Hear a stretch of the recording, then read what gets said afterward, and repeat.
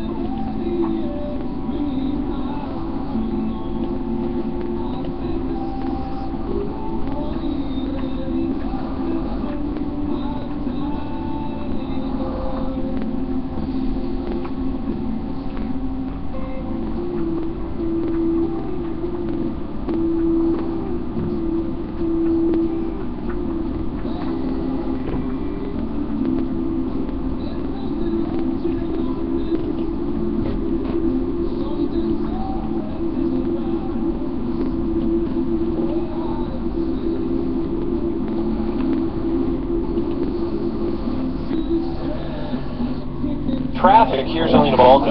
Seeing that southbound 400 still jammed from Innisfil Beach Road down to approaching Highway 89. Right lane is blocked. They're cleaning up from an accident from yesterday. Hopefully they will reopen that uh, entire stretch of road and get out of that right lane within the next few minutes or so. We'll keep you posted on that. But it's been a real struggle for motorists coming in on the 400 southbound this morning. Westbound on the 401 getting word of a problem west of Warden in the Express. We've got the right lane blocked by collision. Tow truck has arrived on the scene.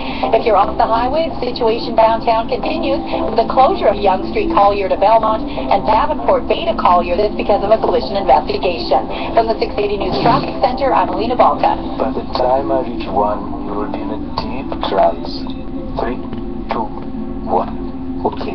You are in a Subaru, driving to the lake. To your left is a trout jumping out of the water, begging to be reeled in. You see a rainbow up ahead. Wait, is that a double rainbow? Ooh, it's a rainbow trout. Why dream of adventure when you can drive a Subaru? Now lease or finance a 2015 model from just 0.5%. Subaru, confidence in motion. This update is brought to you by your Ontario Subaru dealers. CJCL Toronto, Sportsnet 590, The Fan. It's 8 o'clock. A lightning struck down at United Center. I'm Kayla Harris with the Sportsnet Central update. After it goes straight up the middle. Wide on with Washington they score. Cedric Paquette scored the game winner in the third period at Tampa Bay at the Chicago Blackhawks 3-2 to take a 2-1 series lead in the Stanley Cup final. To some, Ben Bishop appeared to be a warrior playing through an apparent injury and making 36 saves in the win. In the win. Jeremy Roenick isn't buying it. You can't have a performance like that if you're, if you're really hurt. I think everybody should stop talking about it and continue to, uh, continue to play. He was a guest on Dean Blundell and Company, and we got another one coming up in about 15 minutes. Former Leaf coach Ron Wilson. Game four is in Chicago tomorrow night. The Blue Jays are red hot. They pounded the Marlins 11-3 for their sixth straight win. Mike Wilner has the Blue Jays wrapped. Chris Colabello finished it on Sunday, started it on Monday with a first inning RBI single. Danny Valencia had a two-run double off the wall, missing a grand slam by inches. Kevin Pillar followed with a two-run single as part of the big inning. Arco was founded with seven strong for the win. Josh Donaldson hit his 16th home run. Colabello's hit streak is now at a career high 18 games. The series continues right here on Sportsnet 590 The Fan and Sportsnet Ontario at 7 o'clock. Mark Buehrle will get the start. He's tossed back-to-back complete games for the first time since 2004. Meanwhile, Toronto selected Missouri State's Jon Harris 29th overall at the draft last night.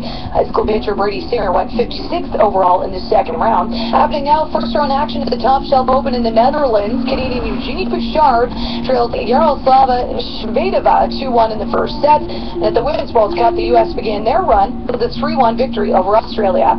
You're listening to Dean Blundell and Company on the home of the Blue Jays. Sportsnet 590 The Fan. Blundell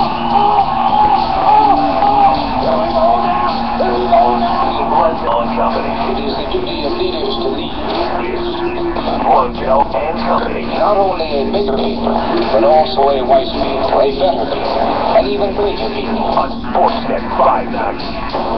The Fan. This hour. Yeah. Sorry, I forgot about that guy. Go ahead. Yeah, yeah, my bad. Oh my god. Right face. Yeah, did he ever? Right in the.